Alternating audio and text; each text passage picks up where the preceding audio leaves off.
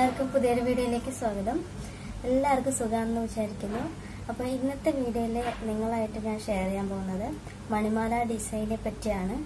അപ്പോൾ എല്ലാവരും ഈ കേരള മ്യൂറൽ പെയിന്റിങ്ങിൽ കോമൺ ആയിട്ട് കണ്ടുവരുന്ന ഒരു ഡിസൈനാണ് മണിമാല ഡിസൈൻ അപ്പോൾ ഈ മണിമാല ഡിസൈൻ ശരിക്കും പറഞ്ഞാൽ നമുക്ക് കുറേ സ്ഥലങ്ങളിൽ ആഡ് ചെയ്ത് കൊടുക്കാവുന്നതാണ് കേട്ടോ. അതായത് ഇപ്പം ഒരു ഫിഗർ വരച്ചു കഴിഞ്ഞാൽ അതിൽ ആഭരണങ്ങൾ വരയ്ക്കുമ്പം അതിൽ നമുക്ക് മണിമാല ഡിസൈൻ ആഡ് ചെയ്ത് കൊടുക്കാം. അതല്ലെങ്കിൽ കങ്കണം വരയ്ക്കുമ്പോൾ അതിൽ നമുക്ക് സിമ്പിളായിട്ടുള്ള കങ്കണം വേണമെങ്കിൽ അങ്ങനെയും വരയ്ക്കാം. അതല്ലെങ്കിൽ കുറച്ചും കൂടി ഭംഗിയാക്കണം എന്നുണ്ടെങ്കിൽ നമുക്ക് മണിമാല ഡിസൈൻ വരച്ച് കുറച്ചും കൂടി ഭംഗിയാക്കി കൊടുക്കാവുന്നതാണ്. പിന്നെ കിരീടങ്ങളിൽ പിന്നെ ഡ്രസ്സിൽ അങ്ങനെ പല സ്ഥലങ്ങളും നമുക്ക് ഈ മണിമാല ഡിസൈൻ ആഡ് ചെയ്ത് നമ്മുടെ ചിത്രം കുറച്ചുകൂടി ഭംഗിയായിട്ട് വരയ്ക്കാവുന്നതാണ്. ഞാനിപ്പോൾ പറഞ്ഞ പോലെ ആഭരണങ്ങൾ വരയ്ക്കുമ്പോഴാണെങ്കിലും ദാമങ്ങൾ വരയ്ക്കുമ്പോഴാണെങ്കിലും മണിമാല ഡിസൈൻ ആഡ് ചെയ്ത് കൊടുക്കാമെന്ന് പറഞ്ഞു. അത് നിർബന്ധമൊന്നുമില്ല. അതൊരു കലാകാരന്റെ ഇഷ്ടമാണ്. സിമ്പിളായിട്ട് വരച്ചാൽ മതിയെങ്കിൽ നമുക്ക് സിമ്പിളായിട്ട് തന്നെ വരയ്ക്കാം.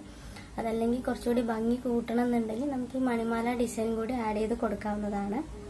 പിന്നെ നമ്മൾ മണിമാല വരയ്ക്കുന്നത് എവിടെയാണെന്ന് വെച്ചാൽ നമ്മളിപ്പോൾ ഒരു ചിത്രം വരച്ചു കഴിഞ്ഞാൽ ഒരു ഫിഗർ വരച്ചു കഴിഞ്ഞാൽ അതിന് ചുറ്റിൽ നമ്മളൊരു മണിമാല ബോർഡർ വരച്ചു കൊടുക്കും. അത് നമ്മൾ അങ്ങനെ വരയ്ക്കുന്നത് ആ ഒരു ചിത്രത്തിനെ നമ്മൾ സെപ്പറേറ്റ് ചെയ്ത് കാണിക്കാൻ വേണ്ടിയിട്ടാണ് നമ്മൾ അങ്ങനെ ചെയ്യുന്നത്. അതല്ലെങ്കിൽ നമുക്കൊരു ഗ്രൂപ്പ് ഓഫ് ആളുകൾക്ക് നമ്മൾ മണിമാല ബോർഡർ വരച്ചു കൊടുക്കാറുണ്ട്. ആ ഗ്രൂപ്പ് ഓഫ് ആളുകളെ വേർതിരിച്ച് കാണിക്കാൻ വേണ്ടിയിട്ട്. ഉദാഹരണം പറയുകയാണെങ്കിൽ ശിവകുടുംബം നമ്മൾ വരയ്ക്കുകയാണെന്ന് വയ്ക്കുക അപ്പോൾ ശിവകുടുംബത്തിന്റെ കൂട്ടത്തിൽ നമ്മൾ സന്യാസിമാരെയും ഉൾപ്പെടുത്തി വരയ്ക്കുന്നുണ്ടെങ്കിൽ ഈ ശിവകുടുംബത്തിനെ മാത്രം നമ്മളൊരു മണിമാല ബോർഡർ അവർക്ക് മൊത്തത്തിലൊരു മണിമാല ബോർഡർ വരച്ചു കൊടുക്കുകയാണ് ചെയ്യാറ്. പിന്നെ സന്യാസിമാരെ നമ്മൾ സെപ്പറേറ്റ് ചെയ്ത് കാണിക്കണം. അപ്പോൾ അവർക്ക് പ്രത്യേക മണിമാല നമ്മൾ വരച്ചു കൊടുക്കുകയാണ് ചെയ്യാറ്. അപ്പോൾ ഇങ്ങനെയൊക്കെയാണ് നമ്മൾ മണിമാല ഡിസൈൻ യൂസ് ചെയ്യാറ്. അപ്പോൾ അതെങ്ങനെയാണ് വരയ്ക്കുന്നത് എന്ന് നമുക്ക് നോക്കാം. പിന്നെ കളറിങ് എങ്ങനെയാണ് ചെയ്യുന്നത്. എന്നെല്ലാം ഞാൻ ഈ വീഡിയോയിലൂടെ ഷെയർ ചെയ്യുന്നതാണ്. അപ്പോൾ എല്ലാവരും സ്കിപ്പ് ചെയ്യാതെ തന്നെ കാണാം. ഞാനിപ്പോൾ ഇവിടെ സരസ്വതിയുടെ ഒരു ചിത്രമാണ് വരച്ചിരിക്കുന്നത്. അപ്പോൾ അതിലെങ്ങനെയാണ് നമുക്ക് മണിമാല ബോർഡർ വരയ്ക്കുന്നത് എന്ന് നമുക്ക് നോക്കാം. മണിമാല ഡിസൈൻ നമ്മൾ വരയ്ക്കുന്ന സമയത്ത് ചിത്രത്തിനോട് ചേർത്ത് തന്നെ ഏറ്റവും അടുത്ത് വരുന്ന രീതിയിൽ ചിത്രത്തിന് ചുറ്റും നമ്മൾ മണിമാല ഡിസൈൻ വരച്ചു കൊടുക്കുകയാണ് ചെയ്യുന്നത്. അപ്പോൾ അതെങ്ങനെ വരയ്ക്കാമെന്ന് നോക്കാം. ഫസ്റ്റ് നമ്മളൊരു റാ ഇട്ട് കൊടുക്കുക എന്നിട്ടൊരു അടിയിൽ കുനിപ്പിട്ട് കൊടുക്കുക വീണ്ടും റാ വരയ്ക്കുക അടിയിൽ കുനിപ്പിട്ട് കൊടുക്കുക ഇത് തന്നെ കണ്ടിന്യൂസ് ആയിട്ട് നമ്മൾ വരച്ചു പോവാം. മണിമാല വരയ്ക്കുന്ന സമയത്ത് പിന്നെ ശ്രദ്ധിക്കേണ്ട ഒരു കാര്യം എല്ലാം നമ്മൾ ഒരേ ഷേപ്പിൽ തന്നെ വരയ്ക്കാനായിട്ട് ശ്രദ്ധിക്കാം. ഒരേ വലിപ്പത്തിലുള്ള മണിമാല വരച്ചു കൊടുക്കാനായിട്ട് ശ്രദ്ധിക്കാം. കുറച്ച് വലിയ സൈസിലും പിന്നെ വരയ്ക്കുന്നത് ചെറിയ സൈസിലായിട്ട് വരയ്ക്കരുത്. അത് തെറ്റായ ഒരു രീതിയാണ്. മാക്സിമം നമ്മുടെ കഴിവിനനുസരിച്ച് എല്ലാം ഏകദേശം ഒരേ സൈസിൽ വരയ്ക്കാനായിട്ട് ശ്രദ്ധിക്കാം. അതുപോലെ തന്നെ നമ്മൾ മണിമാല വരച്ച് പ്രാക്ടീസ് ചെയ്യുന്ന സമയത്ത് റൈറ്റിൽ നിന്ന് ലെഫ്റ്റിലോട്ട് വരച്ച് പ്രാക്ടീസ് ചെയ്യാം. അത് നമുക്ക് ഈസിയായിട്ട് കിട്ടിത്തുടങ്ങിയാൽ ലെഫ്റ്റിൽ നിന്ന് റൈറ്റിലോട്ടും വരച്ച് പ്രാക്ടീസ് ചെയ്യാം. അതെന്തിനാണെന്ന് വെച്ചാൽ നമ്മൾ വലിയ ചിത്രങ്ങളൊക്കെ വരയ്ക്കുന്ന സമയത്ത് രണ്ട് സൈഡിലോട്ട് നമുക്ക് മണിമാല വരയ്ക്കേണ്ട ആവശ്യം വരും. അപ്പോൾ നമുക്ക് രണ്ട് സൈഡിലോട്ടും ഈസി ആയിട്ട് വരയ്ക്കാൻ വേണ്ടിയിട്ടാണ് രണ്ട് സൈഡിലോട്ടും നമ്മൾ വരച്ച് പ്രാക്ടീസ് ചെയ്യാൻ പറയുന്നത്. ക്യാൻവാസിൽ വരയ്ക്കുമ്പോൾ നമ്മൾ എച്ച് പി പെൻസിൽ യൂസ് ചെയ്തിട്ട് വളരെ ലൈറ്റായിട്ട് പെൻസിൽ ഡ്രോയിങ് ചെയ്യാം. അല്ലെങ്കിൽ നമ്മളത് മായ്ച്ചാലും അതിന്റെ അടയാളം ക്യാൻവാസിനകത്ത് ഉണ്ടാവും. അതൊരു അഭംഗിയാണ്. അപ്പോൾ നമ്മൾ ലൈറ്റായിട്ട് പെൻസിൽ ഡ്രോയിങ് ചെയ്യുക ഞാനിപ്പോൾ ഇങ്ങനെ വരയ്ക്കുന്നത് നിങ്ങൾക്ക് കാണാൻ വേണ്ടിയിട്ടാണ്. ഇത്രയും ഡാർക്കായിട്ട് വരച്ചത്. ക്യാൻവാസിൽ നമ്മൾ ഒരുപാട് ഇറേസ് വെച്ച് മായ്ച്ചു കഴിഞ്ഞാൽ ക്യാൻവാസിന് ഡാമേജ് സംഭവിക്കാൻ സാധ്യതയുണ്ട്. അപ്പോൾ നമ്മൾ ലൈറ്റായിട്ട് വരയ്ക്കുക. അപ്പോൾ ഇറേസ് ചെയ്ത് കഴിഞ്ഞാലും വലിയ പ്രശ്നമൊന്നും സംഭവിക്കില്ല. ഞാനിപ്പോൾ ഇവിടെ ചെറിയൊരു മണിമാല ഡിസൈൻ വരച്ച് വെച്ചിട്ടുണ്ട്. അപ്പോൾ നമ്മൾ ഇനി പെയിന്റ് മിക്സ് ചെയ്യാൻ പോവുകയാണ് പെർമനന്റ് യെല്ലോ മീഡിയമാണ് എടുത്തിരിക്കുന്നത്. നമ്മൾ ഇതുപോലെ ബ്രഷിൽ വെള്ളം എടുത്തിട്ട് വേണം പെയിന്റ് മിക്സ് ചെയ്യാനായിട്ട്. ഡയറക്റ്റ് നമ്മൾ പെയിന്റിലേക്ക് വെള്ളം ഒഴിച്ച് മിക്സ് ചെയ്യരുത് അപ്പോൾ നമ്മളിങ്ങനെ ക്യാൻവാസിൽ പെൻസിൽ ഡ്രോയിങ് ചെയ്ത് കഴിഞ്ഞതിന് ശേഷം അടുത്തത് നമ്മൾ ഇതുപോലെ യെല്ലോ കളർ വെച്ചിട്ടോ അല്ലെങ്കിൽ റെഡിൽ കുറച്ച് യെല്ലോ മിക്സ് ചെയ്തിട്ട് ആ കളർ ഉപയോഗിച്ചിട്ടോ നമ്മൾ ഫുള്ള് ഔട്ട്ലൈൻ വരച്ചു കൊടുക്കുകയാണ് ചെയ്യുന്നത്. ഇപ്പോൾ വലിയൊരു ഫിഗർ വരച്ചിട്ടുണ്ടെങ്കിൽ അത് ഫുള്ള് നമ്മൾ പെൻസിൽ വെച്ച് വരച്ച എല്ലാ വരകളും നമ്മൾ ഇതുപോലെ ഒരു ഔട്ട്ലൈൻ വരച്ചു കൊടുക്കുകയാണ് ചെയ്യേണ്ടത്. ഔട്ട്ലൈൻ വരച്ചു കഴിഞ്ഞു. ഇനി നമുക്ക് അടുത്തത് യെല്ലോ വാഷാണ് ചെയ്യുന്നത്. യെല്ലോ വാഷ് ചെയ്യാനായിട്ടും പെർമനന്റ് യെല്ലോ മീഡിയം തന്നെയാണ് എടുത്തിരിക്കുന്നത്. അപ്പോൾ അത് നമ്മൾ ഔട്ട്ലൈനിൽ ഇതുപോലെ കുറച്ച് പെയിന്റ് വെച്ച് കൊടുക്കുക. അതിനെ നമുക്ക് ഉള്ളിലേക്ക് ലയിപ്പിച്ച് കൊടുക്കുകയാണ് ചെയ്യുന്നത്.